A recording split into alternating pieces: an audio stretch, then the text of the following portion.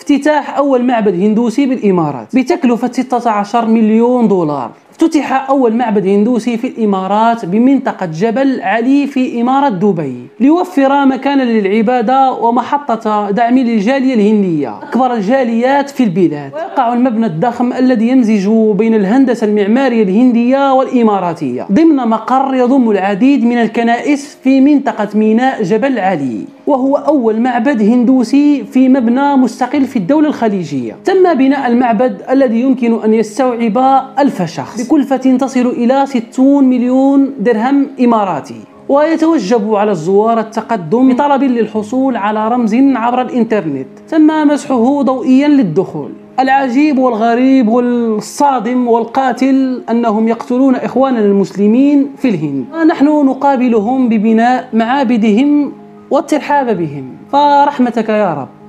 والسلام.